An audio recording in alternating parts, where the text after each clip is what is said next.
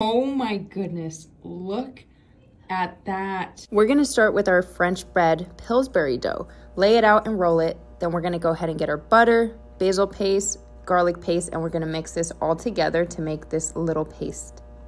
So now that we have our paste all made up, we're gonna go ahead and get, get a brush and we're gonna start brushing it all over. So make sure to use a brush during this part because it just allows it to get all over so much easier. I mean, you could definitely use a spatula, but it does not work as well. But that's fine, you can do that. I mean, you can even use your hands. I'm making sure to use everything, just as you should. Perfect. Now that that is all done, we're gonna go ahead and get some shredded mozzarella cheese. So go ahead and we're gonna go ahead and start spreading it out. And we want a nice, even amount of cheese, guys, okay? So there we go. It's looking good. And now what I like to add for some spice is some red chili flakes. So this is completely optional.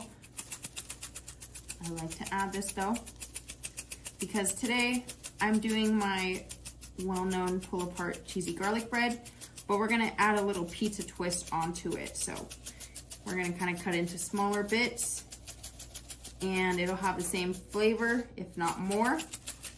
Perfect. Now we're gonna go ahead and get some pepperoni. Who does not love pepperoni, right? So go ahead, we're gonna go ahead and start putting it on all over just like this. We wanna go ahead and cover this thing. There we go. Perfect. Amazing. So as you can see, I have my four rows and this is kind of a guideline of how I'm gonna be cutting as well. So we're gonna do four rows. We're gonna get a pizza cutter and we're gonna go down it just like this. Perfect. We're gonna go down this way. Perfect. And we're gonna do one more row. There we go. Perfect. So now that we have four rows, we're gonna go ahead and make four little cuts as well. So we're gonna go ahead and if you want, you can go right down the middle if that's what you prefer. So we'll start there. That, that way you can kind of know it's perfectly even. And we're gonna be cutting down that pepperoni as you can see, which is totally fine. Go ahead, stick those bad boys right back there. And that's kind of our guideline. So we're gonna go ahead and keep on cutting. We want four little bits just like that. And we're gonna go this way as well. Perfect. So as you can see, it's nice and cut up.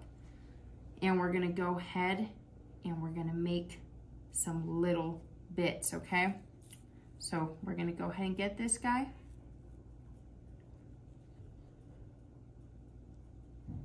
Cut.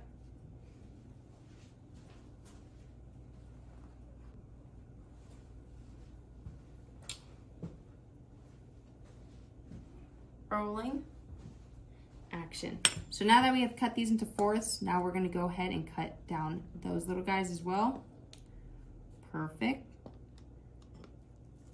And because we're doing this, we're gonna come out with about eight tiny little pieces.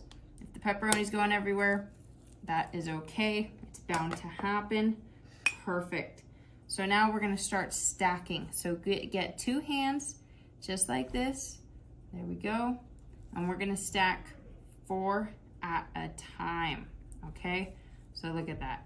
It's nice and thick. And we're gonna go ahead and sit this to the side and we're gonna keep on stacking just like this.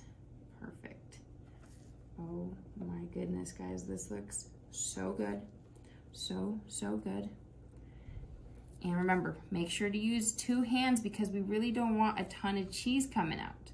So that's the reason why, you know, I always suggest let's use two hands here. And get our muffin tin. Perfect. And what are we gonna do? We're gonna go ahead and spray it, of course. So you wanna spray all these just like that. And we're gonna go ahead and put these guys right in. Perfect. Perfect.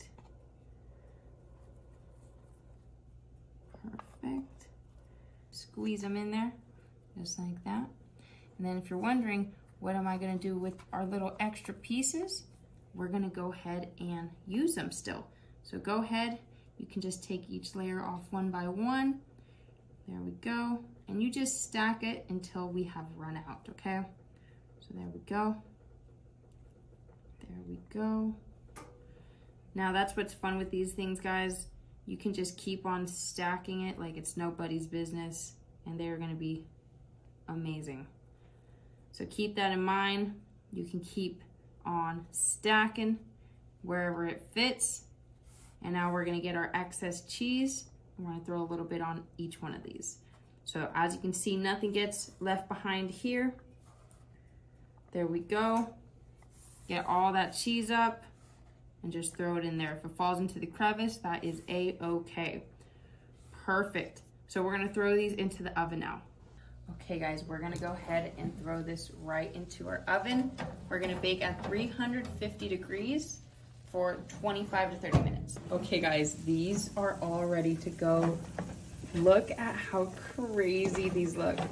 As you can see, I put a pan underneath to catch the butter. All right, let's plate them. So these little pull aparts are all ready to go. We're gonna top them with some Parmesan cheese.